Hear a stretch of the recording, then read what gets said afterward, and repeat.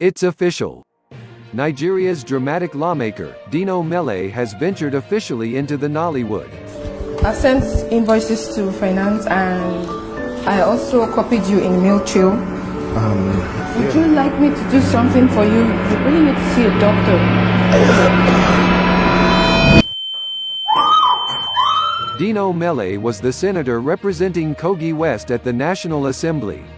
While he was in the assembly, Dino Melaye was pulled many dramatic stunts. In one instance, he claimed onto a high tree to escape arrest.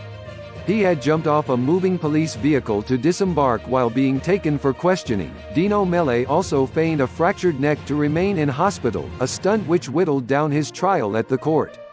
Dino Melaye's hobbies include singing, dancing, and showing off expensive toys. While most of his fans love his dramatic presence at the National Assembly, others believe his talent is best needed in the Nollywood sector.